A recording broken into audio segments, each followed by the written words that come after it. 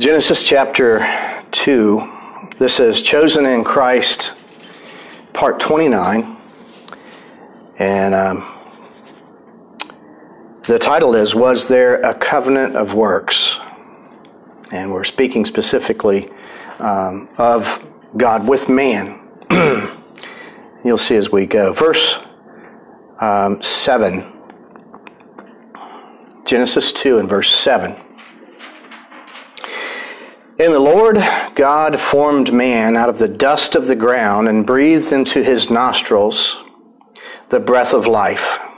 And man became a living soul. And the Lord God planted a garden eastward in Eden. And there he put the man whom he had formed. And out of the ground, the Lord God uh, out of the ground made the Lord God to grow every tree that is pleasant to the sight and good for food, the tree of life also in the middle of the garden, and the tree of the knowledge of good and evil. Uh, jump down to verse 15. Uh, the verses in between just talk about different rivers that are kind of hard to pronounce. So that's why I'm skipping them. Um, and the Lord God took the man and put him into the Garden of Eden to dress it and to keep it.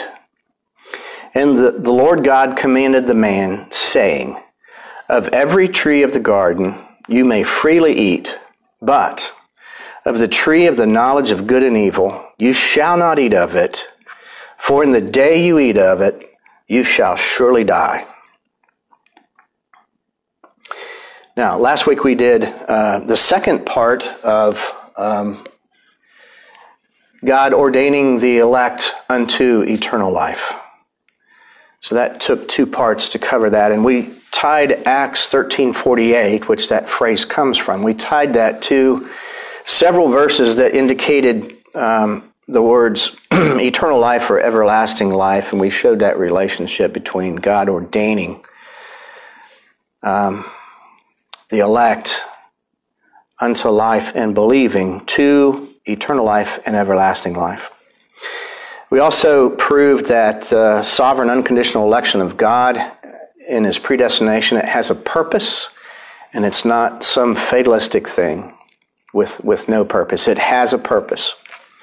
This week we're going to look at the question of whether uh, God made a covenant of works with Adam, as some uh, covenant theology folks would have us believe. I want to make some clarifications after saying that, make some clarifications here. So, some of uh, those that I associate with on social media or that I've known for a while or listening on um, Facebook and um, YouTube won't think that we're out and out heretics. In, in the systematic theology um, that I hold to, that I've practiced for years and the terms that I use within my teaching as I talk about theology and doctrine and the gospel. I would readily agree with um, what's called federal theology. And all that is, is where God has purpose to have two federal heads Adam and Christ. And um, Actually, the scriptural reading, uh, Eric read Romans 5. That's what that talks about, verses 12 through 21. So, we do not deny federal headship, we, we hold to it. Uh, this is it's clearly taught in the scripture, but this covenant of works thing is not, in my opinion, and it does actually does damage to God's character. So please listen to my complaint along the way as I describe why and uh, we'll be doing that as we go along. uh, here's another thing, too. I've been wanting to talk about this for a while. It seems like there's this expectation of, and I've noticed this for years, of a theologian or a teacher or a pastor to be fit into a certain specific box. Like if you believe sovereign grace, Calvinistic Reformed theology, you have to hold to a, you have to be in a box. You have to hold, you have to follow these rules specifically. It's not the case. There is a variety of differences among sovereign grace, reformed theological, uh, uh, Calvinistic groups. They're all kind of differences, and they're not um, head for head in full agreement on everything. Uh, that would be a miracle.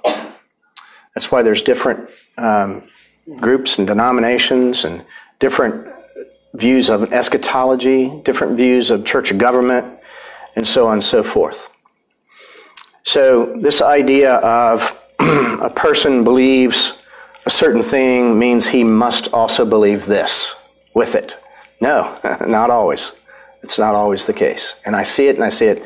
As we go along, not maybe today, but through the rest of the series, I'll try to point out where this is the case. I'll give you one example. Those that are, and don't get scared of the term, I know we said we're going to look into it in the near future, and we will. This idea of superlapsarianism.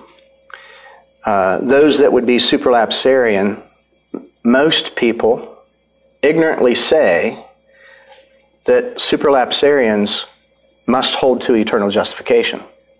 That's not the case. That's not the case. They use John Gill, for example. I use John Gill as a commentator whenever I get stuck. You know, I'll read him, see what he has to say. I don't always agree with him, but uh, John Gill believed in eternal justification, which I don't agree with.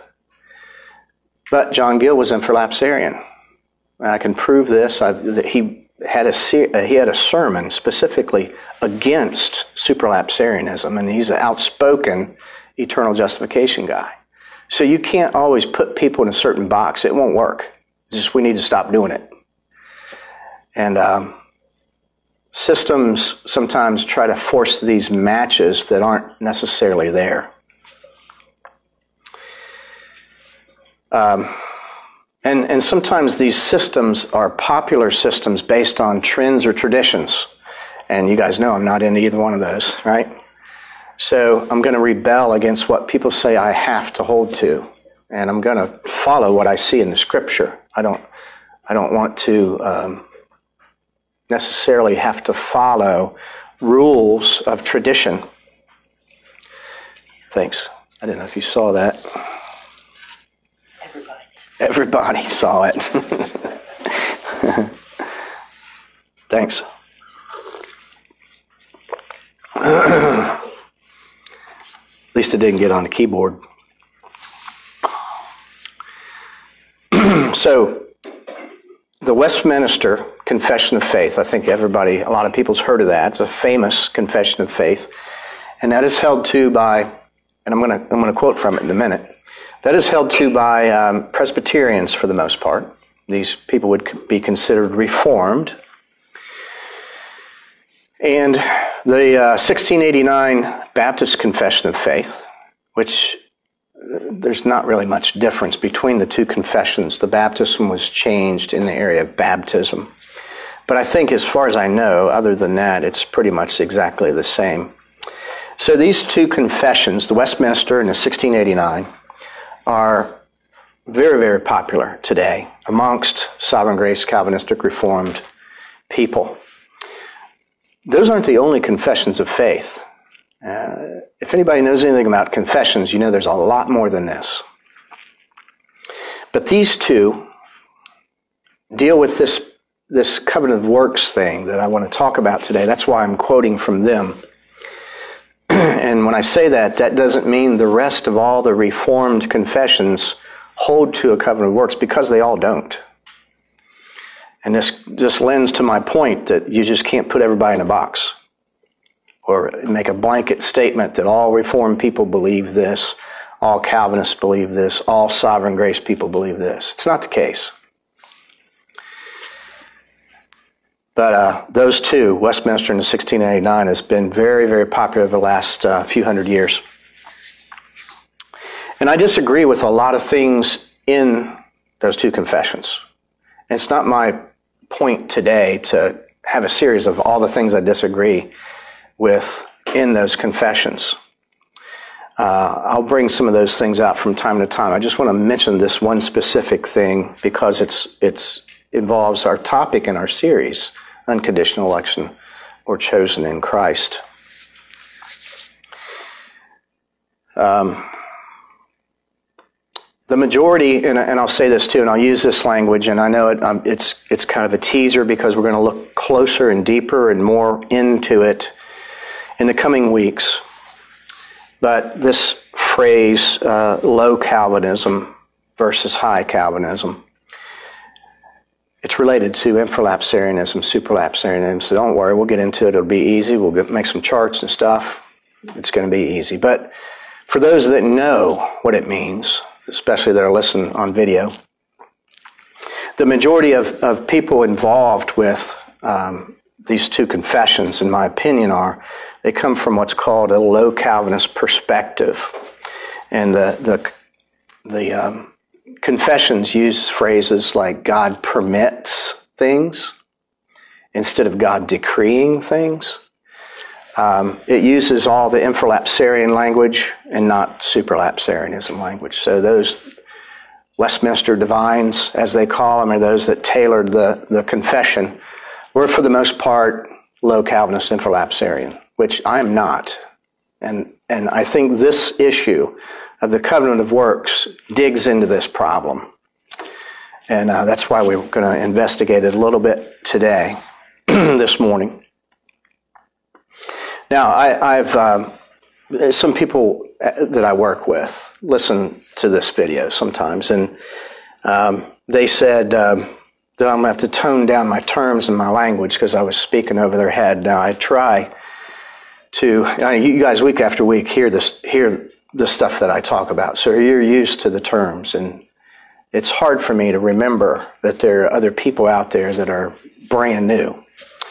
so I really blew it this morning, just using a few terms, you know.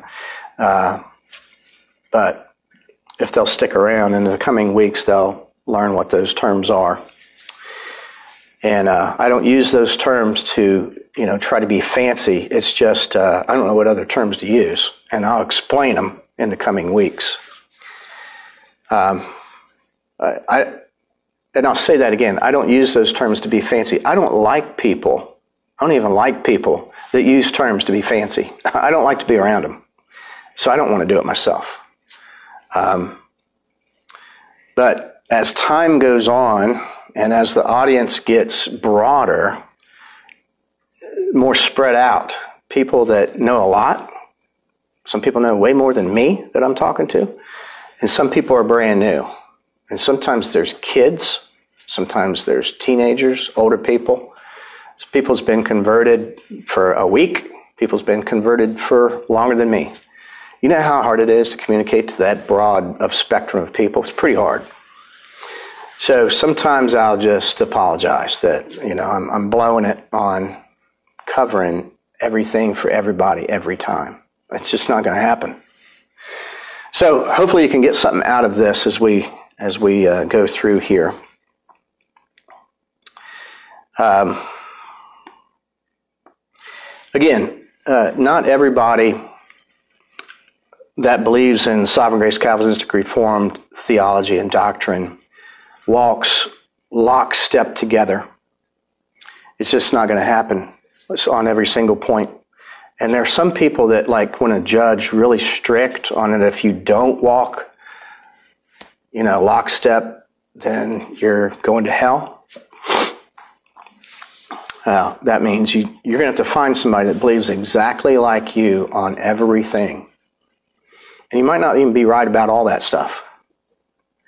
I know a few pastors that are like pretty close. I just named them in the announcements. Two guys from Ohio uh, there's not many things I can think of. Right now, off the cuff, I can't think of anything that we disagree on. It just means we haven't sat down and talked long enough to find out. But um, there, I make these general statements here and then move on to our topic. People, they grow and learn, and as they grow and learn, they adjust their language about doctrine and theology. When you're first converted, you don't automatically know everything. Now, you just learn the gospel, and you learn enough gospel to convert you. And it is opposed to a false gospel that you just came out of. There's no doubt about that. So you look at the false gospel you came out of and you say, okay, I know what the primary issues are. I know I don't believe that anymore. I've come out of that. So you know what the gospel issues are. Now, there are uh, secondary issues. Might have to do with eschatology, might have to do with church government, might have to do with um, just different things.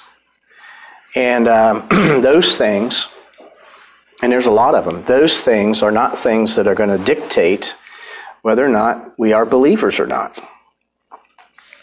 You can look at. Um, what is it, Romans 14, and you can look at in Christian Liberty section.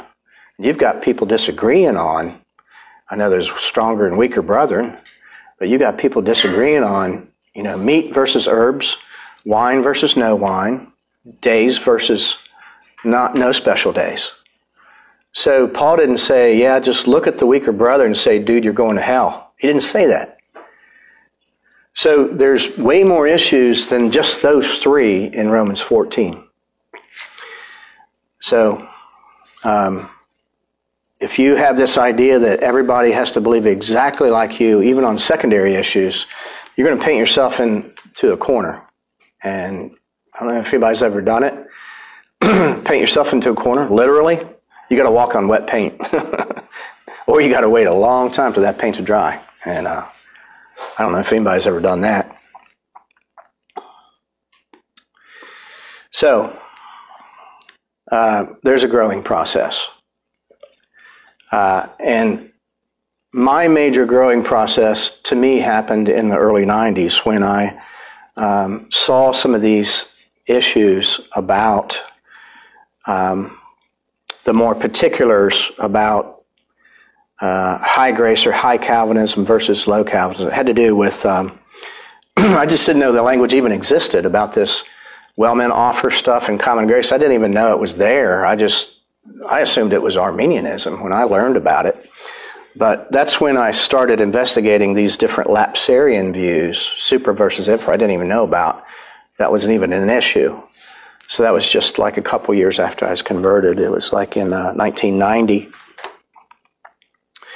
But that was my major, my biggest change since I've been converted was on that issue right there. And it sort of put different lenses on everything that I looked at. And I think, uh, you know, a lot of what I hold to about that has come out in the series so far. This is message part 29. And this may be the, the strongest message today so far that you'll start to see the difference because of what I learned back then as compared to maybe the general sovereign grace Calvinistic reform theology that you see out there. You'll start to see some particulars, I think, today.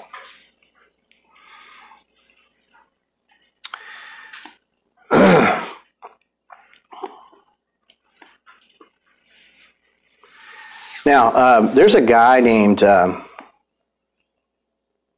speaking of, let me let me back up a little bit. I gave a little history about when I uh, had even heard those terms. I think it was back in 1990.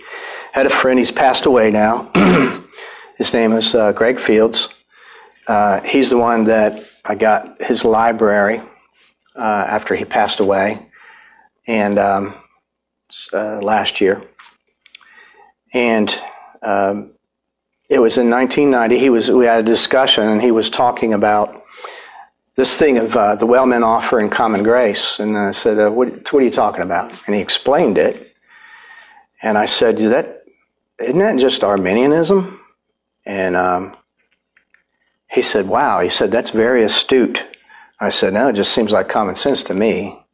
You know, I, I, I wasn't schooled in that, all that stuff, but he brought it up, used the terms, and it just didn't look right to me at the very beginning.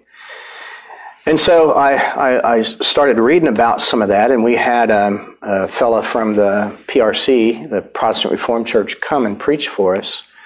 Um, his name was Charles Terpstra.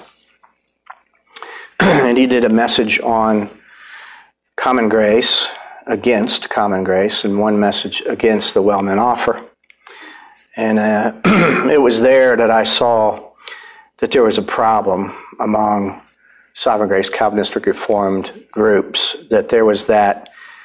When he preached against that, I first of all I didn't know it even existed. I just thought it was Arminianism. But when he preached against it, I saw, wow, there's some serious compromise, in my opinion, amongst all these groups.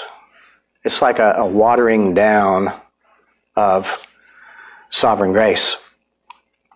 But the Protestant Reformed Church, they reject the idea of covenant of works. I'm, a, I'm in agreement with them against the covenant of works.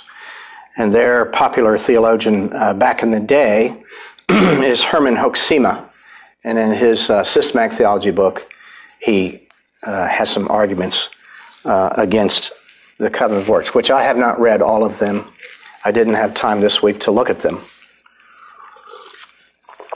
But another guy who um, I met, and some of the ladies here met at a conference in Tennessee, David Inglesma. Uh, he's from the PRC, and he uh, has written against the covenant of works also. There was another guy too that early on that was uh, helpful to me to seeing some of this, who has uh, passed away since. His name is W. E. Best. He was a Baptist uh, pastor from uh, Tennessee, or I'm sorry, Texas. But that was like 90, 91. I read uh, W.E. Best. I think we have some W.E. Best books over here. But anyway, let's throw those two names out there because some people see some of those books, some of those authors. And uh, just not that it matters that I would not mention them, but there are other people that are saying what I'm saying here. Um, so, I'm going to quote from chapter 6 of these two confessions, the 1689 Baptist Confession and the Westminster Confession, chapter 6 of those confessions, entitled Of the Fall of Man, of Sin, and the Punishment Thereof. Just a short paragraph here. Section 1. Now I'm going to slow down when I get to the part, or I might stop and insert some comments as we go along so I can emphasize uh, why I'm not agreeing with this. Although God created man upright and perfect and gave him a righteous law, notice this, which had been unto life had he kept it. Now, this is this is the part I want us to pay attention to. Which had been unto life if he had kept it, and threatened death upon the breach thereof. Yet he did not long abide in this honor. Satan, using his subtilty of the serpent to subdue Eve, then by her seducing Adam, who without any compulsion willfully did willfully transgress the law of their creation and the command given unto them in eating the forbidden fruit, which God was pleased, according to his wise holy counsel, to permit, having purposed in order it to his own glory. And they cite Genesis 2 16 and 17, which we've already read, Genesis 3 12 and 13, and 2 Corinthians 11 3. Now, much of this language that we're talking about and using here in Reformed theology, they talk about a time of probation. A time of probation. This is like a trial period, right? So, under uh, section 7, which is entitled Of God's Covenant with Man, in sections 2 and 3, it says this, and I will emphasize some of the words here so you can know why we're here. The first covenant was made with man was a covenant of works. Notice this wherein life was promised to Adam and in his posterity upon condition of perfect and personal obedience. Section 3, the first part of this line stands out. Man, by his fall, notice this, having made himself incapable of life by that covenant, the Lord had pleased to make a second, commonly called the covenant of grace, wherein he freely offered unto sinners life and salvation by Jesus Christ, requiring of them faith in him, and that they may be saved, and promising to give unto all those that are ordained unto eternal life, his Holy Spirit, to make them willing and able to believe. Notice that first part. That's the end of the quote. The first part there. The last part of part two talks about wherein life was promised to Adam if he uh, fulfilled this condition of personal and perfect obedience. And then it says, by his fall, having made himself incapable of life by that covenant. So what he is, what they're saying here is God had this plan. God had this purpose of, here's the promise. If you do this, you will have this. And it was a conditional covenant with Adam based on perfect obedience. Now, having said that, we'll see what the Word of God says. We've already read, but I want to go to two verses. Uh, Genesis 2 16 and 17, and we'll look what the Bible says, God's Word says and states concerning the threat of death without the promise of life, especially eternal life. I say, especially eternal life. Notice in verse 16. And the Lord God commanded the man, saying, Of every tree of the garden you may freely eat, but of the tree of the knowledge of good and evil you shall not eat of it. For, or because, in the day that you eat of it, you shall surely die. Now, it's not my purpose to wear out everybody, with quotes from uh, Reformed theologians trying to support their covenant of works by their commentary. I'm going to give you a little bit of quotes here so they can go further and explain what they mean by this. I, hopefully, you can already see that this promise of life is not in the text. The threat is there, it's surely there. The day you eat thereof, you shall surely die. But there is no promise of life, especially eternal life. Um, I didn't look up and see all the fellows that held to the specifics here on this, but Charles Hodge was a was one. Um, Louis Berkhof is who I'm going to quote here, and Louis Berkhof used Herman Bavinck to back up his his quote. But in Louis Berkhof's Systematic Theology, Part Four, under the section "Man in the Covenant of Works," under that section, section C, called Elements of the Covenant of Works. Point number one under there called the contracting parties. And under there, part B. Under the section, the covenant relationship. I gave all that information, so if anybody was going to look that up in a systematic theology book, they can find it. You can find it online too. but here, the commentary on this it, gets way worse than, than the quote in the confession. In case there was any doubt on what was meant, here's what these guys are saying. He was temporarily put on probation. Again, this is Louis uh, Berkhof. He was temporarily put on probation in order to determine whether he would willingly subject his will to the will of God. He was given the promise of eternal life in the way of obedience, and thus, by gracious disposition of God, acquired certain conditional rights. This covenant enabled Adam to obtain eternal life for himself and for his descendants in the way of obedience. Section 2 The Promise of the Covenant. Now, there'll just be just a few paragraphs here, and then we'll be done, and then I will talk about why we don't agree with this. I don't agree with this. He goes on.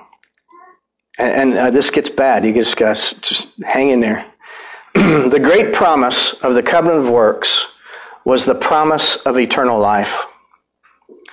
They who deny the covenant of works generally base their denial in part on the fact that there is no record of such promise in the Bible. And it is perfectly true that the scripture contains no explicit promise of eternal life to Adam. But the threatened penalty clearly implies such a promise. We got this so far? All right. He goes on. When the Lord says, For in the day thou eatest thereof, thou shalt surely die, his statement clearly implies if Adam refrains from eating, he will not die. And notice this, but will be raised above the possibility of death. The implied promise certainly cannot mean, in the case of obedience, Adam would be permitted to live on in the usual way. That is, to continue an ordinary natural life, for that's the life that he's already has by virtue of his creation, and therefore could not be held out as a reward for obedience. You sticking with me so far? He, he's, he's making a distinction here. It's not just the regular old life that he's already got. It is something above that. So he's going to give more detail here. He goes on. The implied promise, evidentially, uh, evidently, was that a life raised to its highest development of uh, perennial bliss and glory. Adam was indeed created in the state of positive holiness and was also immortal in the sense that he was not subject to the law of death. But he was only at the beginning of his course and did not yet possess the highest privileges that were in store for man. He was not yet raised above the possibility of erring, sinning, and dying. he was not yet in possession of the highest degree of holiness, nor did he enjoy life in all its fullness the image of God in man was still limited by the possibility of man's sinning against God, changing from good to evil and becoming subject to the power of death. And uh, it's going to wind up here in this last statement. The promise of life in the covenant of works was a promise of the removal of all the limitations of life which Adam was still subject and of the raising of his life to the highest degree of perfection.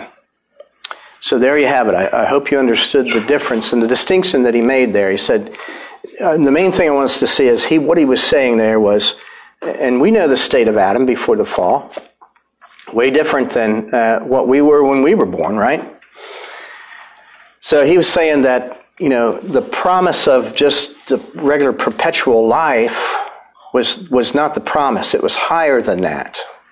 It was eternal life, not just regular Adam's, whatever you would consider Adam's life being regular, not just regular life for Adam, not just that he would live and not physically die. He, talking about eternal life. This is the covenant of works. This is the promise, the reward for this covenant of works. So, how does that view of God's purpose or intent affect the view of God's overall purpose in salvation? This is what I want us to see. And I think this is when you'll start to see some of my bias in, in how I hold to sovereign grace is way different than the majority of um, sovereign grace Calvinist Reformed people out there. they do admit to a command and threat of death not to eat of the fruit of the tree of the knowledge of good and evil. But they say that there's a reward of eternal life for obedience, and they say that that's implied. Again, let's look at the verse. And the Lord God commanded the man, saying, Of every tree of the garden you may freely eat, but of the tree of the knowledge of good and evil you shall not eat of it. For in the day you eat of it, you shall surely die. Now, again, they say a reward is implied in that threat. So, again, I ask the question do you have to believe in the covenant of works, as these guys explained it, to hold to the federal headship of both Adam and Christ, as Eric read in Romans 5? It's clearly there in Romans 5. You don't have to hold to the covenant of works. So, we are not going to be forced to be squeezed into this box that we shouldn't be in in the first place. The box should be destroyed, and that's what I'm, you know, kind of doing today, hopefully, in the minds of some. So, just a few points here before I uh, get too far along. Notice that, uh, and I've alluded to this during the series, Adam did not agree with God in a covenant here. This was something that God laid down without asking Adam. God sovereignly told Adam what was going to happen, how it was going to be. And we know that this is the purpose of God before the foundation of the world. Notice again verse 17, but the tree of the knowledge of good and evil ye shall not eat of it, for, notice this, in the day that you eat of it, you shall surely die. This is like a matter of fact. In the day that you eat of it. So it's not a matter of if, it's a matter of when. This is the purpose of God. This is going to happen. Eternal unconditional election in Christ has already taken place before this. Before this command not to eat. The elect have already been chosen. Do we understand here the absolute sovereignty of God, that there is nothing stopping the fall of man into sin taking place right here. There's nothing that's going to stop it. This carrot on a stick thing that's imagined, it's not there. Nothing's going to stop the fall. You know why? Because what's purposed ahead of the fall for the glory of God. Nothing's going to stop the glory of God and the death of Jesus Christ. That's why the earth was created. So then we can ask some common questions. Uh, did Adam and Eve have a free will before the fall? This is a popular question. And a lot of people rush and say, oh, yeah, they're the only two that ever had a free will. Because their will was influenced, not influenced by sin. It was absolutely free and people say that short sighted. Um, was the only thing involved their sin? What about the decree of God that Adam and Eve was going to fall? Again, I go back to that statement. There is nothing that's going to stop the fall. Nothing. I don't care what you do with Adam's and Eve's will. If you call it free, you're wasting your time. It's not free. The sovereignty of God is way ahead of their will. So if you insist, uh, yes, that they had a free will, I don't think you see the trajectory of what has already eternally been put in motion and purposed by the one and only true sovereign God that works everything after the counsel of his own will. The one who has already declared the end from the beginning. Already. This is not God running around saying, Oh, I didn't realize that was going to happen.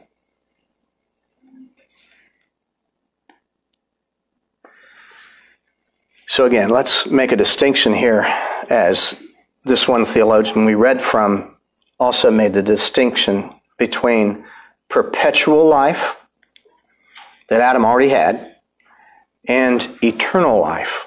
These are two different things. Even though the first, if we just look at the first perpetual life that he already had, and I mean, you take away the idea that this guy was talking about, eternal life, take that out of the picture. Just say perpetual life. That wasn't even purposed by God. Just that wasn't purposed by God. Adam was going to sin. He was going to sin. And therefore, it was not uh, possible in, in God's reality, in truth that preceded the decree that preceded creation. So there is a difference between perpetual life and eternal life. Also, we need to look at this idea of knowing that Adam was peccable. Adam had the potential to fall. That's the way he was created. As opposed to Christ, the Lord Jesus Christ is impeccable. He cannot fall, he cannot sin. That is one thing Christ cannot do. He cannot sin. Some people say, well, it's, it's because he will not sin. Well, him willing not to sin is based on the fact that he can't. Same with totally depraved sinners. People say, well, they won't come to Christ. It's based on they can't, right?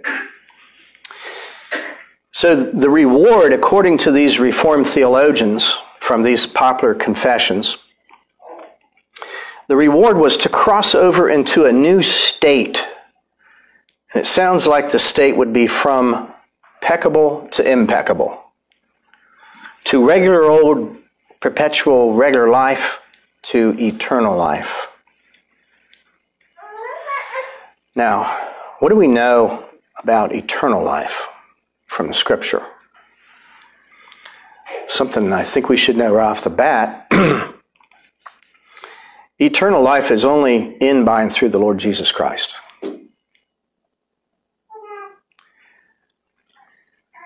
He alone is the resurrection and the life. That's not some new idea. He's the same yesterday, today, and forever. This has always been the purpose of God. This is, He is the I am. He has not changed in reference to that purpose. So, man, even pre fall man, Adam before the fall, cannot raise himself to that level of life. It can't be done. And I have no idea why some of these guys have made this stuff up. It's just not there. Turn, if you would, um, to 1 Corinthians 15. and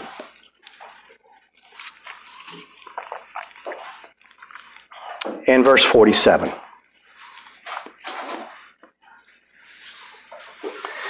Corinthians 15 and verse 47. Paul writing to the church at Corinth, his first letter. And he says this. A lot of this bulk of this chapter is talking about the resurrection. Verse 47 The first man is of the earth, earthy. The second man is the Lord from heaven. He's speaking of Christ. As is the earthy, such are they also that are earthy. And as is the heavenly, such are they also that are heavenly.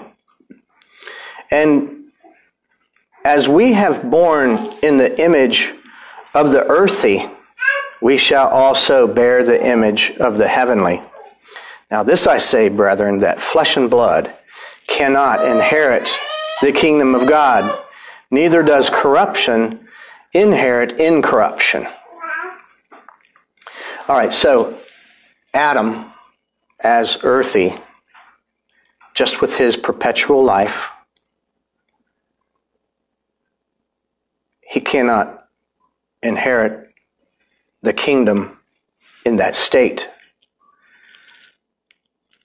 And he would have to switch over to the heavenly to inherit incorruption the type of incorruption that equals eternal life. You see, in both cases, it's not going to happen. In other words, Adam didn't have the power or the promise to change himself from earthly to heavenly. He didn't have the power or the promise.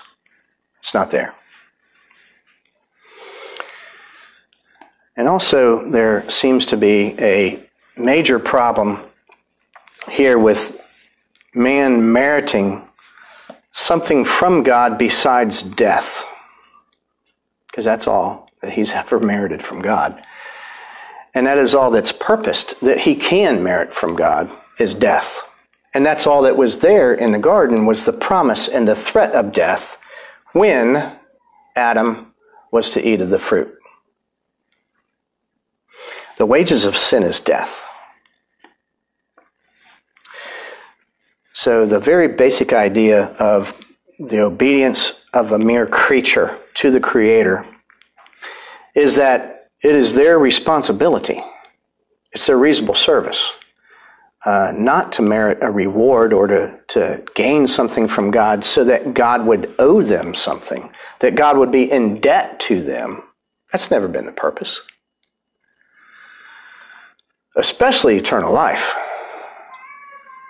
which having already eternally purposing eternal life in Christ for the elect.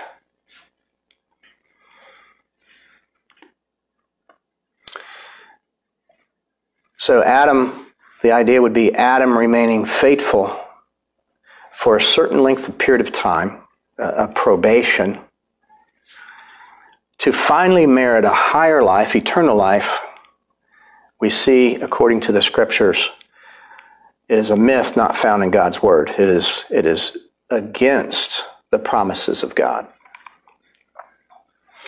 And I think in the weeks to come, we'll, we'll see more and more of how that it's against the promises of God.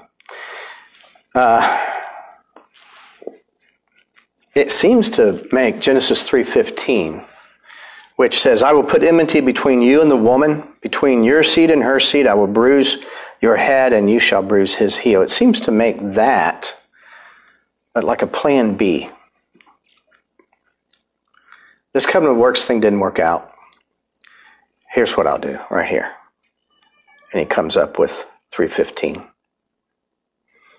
And we know that election was even before this promise. This promise unfolded in time because of God's decree and counsel of his love for his people and his election of his people.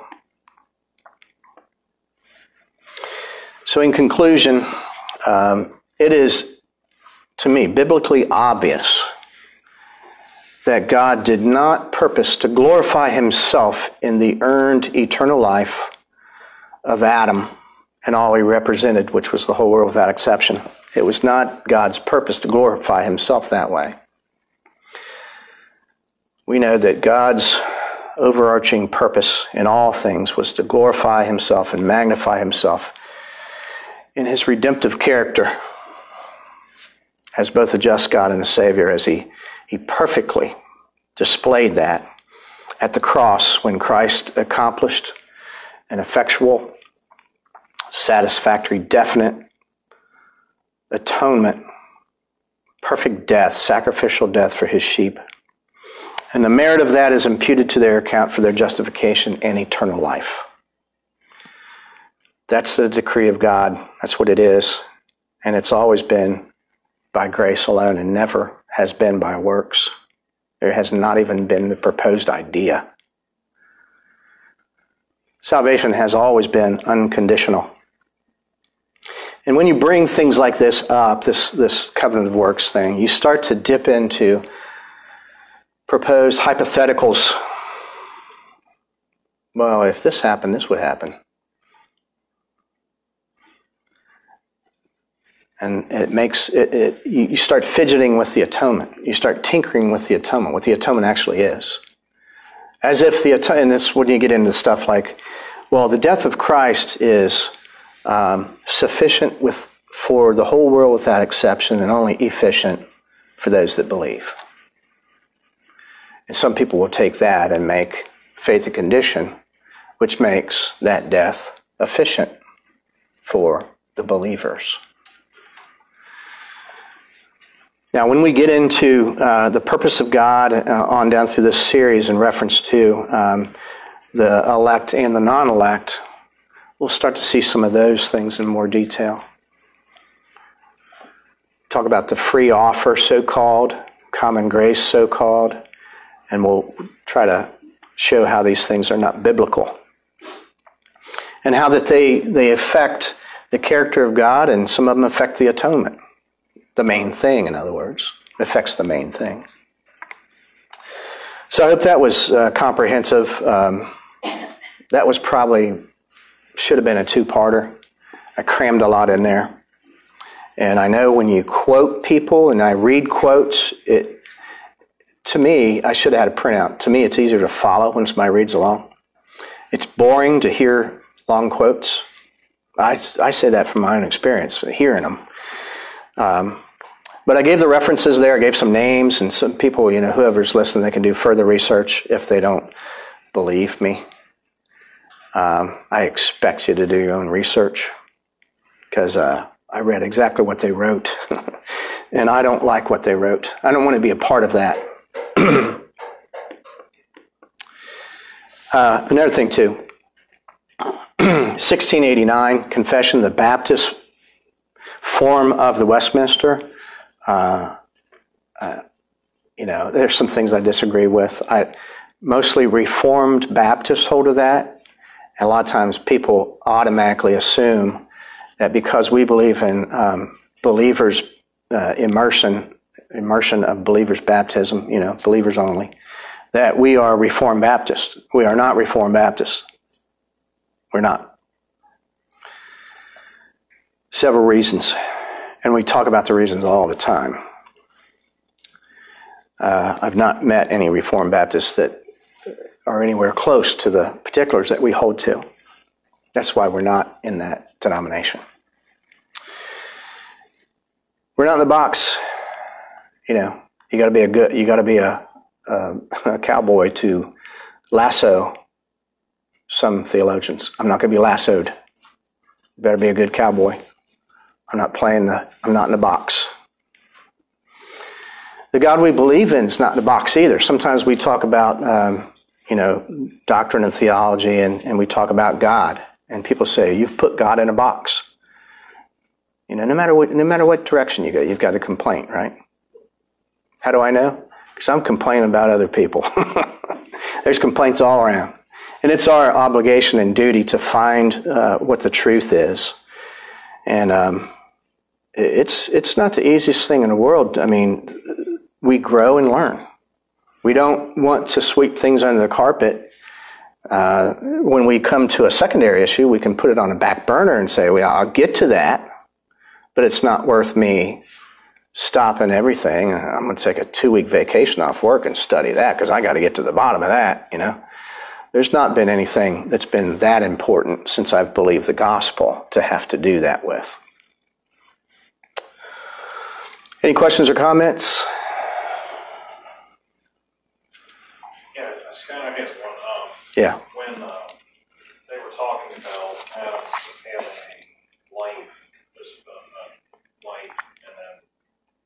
He obeyed. and he would hear the tree of life. Uh, from reading Genesis 2, Noah, they make references to uh, the Lord God made every tree grow that is pleasant to the sight and good for food. Well, then he expounds further and he says the tree of life was also in the midst of the garden. Right. And the tree of good knowledge of good and evil. So the tree of life that they're speaking of is that a type and shadow of Christ? Because when Christ talks about him being the true vine, if they would have, you know, I, am just, I'm asking because I'm. Yeah, yeah, I've heard. I've heard some people say that that are like way better in the Old Testament than I am, that are really heavy into, uh, you know, typology and, and way smarter than me. That yes, that would would be a type of Christ, the tree of life. Um, so it, it, doesn't say, I mean, our, uh, having read that verse in, in verse 9, and we did in our introductory reading, are we to say that that meant Adam didn't eat from that tree? He had the opportunity, but he just didn't eat from it? And it doesn't say one way or the other. Um, I know typology at a certain point, it'll, it'll break down at a certain point. Um, we see later there was a cherubim that had a flaming sword that blocked Adam from that tree. We know that there was a change in Adam after he sinned. He died. He died a legal death. He was declared condemned legally. He died a spiritual death in that he became totally depraved. He lost all of his abilities to see and understand. Uh, that was a big deal. Like split second. but just saying it's a, that was a, all of a sudden a split second change. And now he was in need of justification and the new birth, right? So he was in need of Christ. And he didn't have the free will just to say, Come here, Christ. I, now that I've lost this path, I need you. He didn't have the power just to turn around because he just freshly lost all he had. He said, Christ, okay, now I want to fix this. Come here. I want to take care of this. It's not the way it works. You know, it had to be like everybody else that was elect that, you know, all that the Father gives me shall come to me, and that's through faith, that's through the gospel, through whatever means of communication back then. We know later on, uh, Cain and Abel there. You know, Abel had the sacrifice, and we, we start to see contrast between two peoples. There's conjecture, you know, both ways whether or not Adam was saved or lost. And some people say, well, Adam had to be saved because he's probably the one that told Abel about you got to have a sacrifice like that. I know because God had to sacrifice the skin so me and Eve could put them on. You know, there's all kind of conjecture about what took place and uh, I'm not much into conjecture, and I'm not going to follow this line of conjecture here that the other side of the thread implied a reward of eternal life, especially, not just perpetual life. Does that touch on kind of, yeah?